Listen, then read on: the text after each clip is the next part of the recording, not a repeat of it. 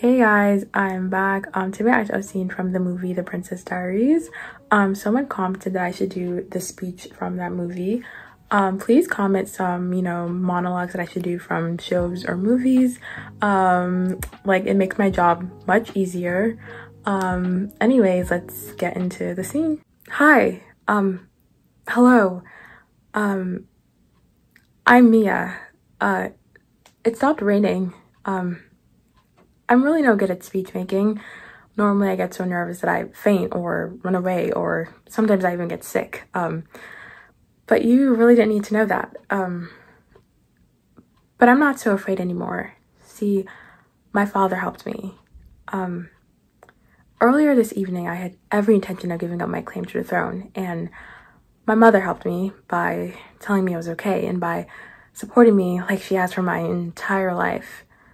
But then I wondered how I'd feel after abdicating my role as Princess of Genovia.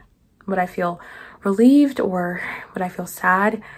But then I realized how many stupid times a day I use the word I, and probably all I ever think about is myself. And how lame is that when there's like 7 billion other people out there on the planet? And, uh, sorry, I'm, I'm going too fast. Um, but then I thought, if I cared about the other 7 billion out there instead of just me, then that's probably a much better use of my time.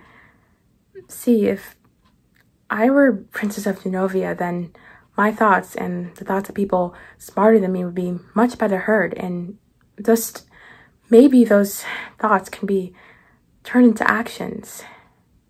So this morning I woke up, I was Mia Thermopolis, but now I choose to be forevermore Amelia Mignonette Thermopolis Renaldi, Princess of Genovia.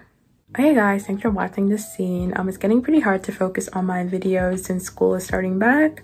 Um, but you know, I'm trying my best. Um, anyways, thanks for watching this video and please subscribe if you're new. Um, you know, anyways, thanks for watching and keep up for more.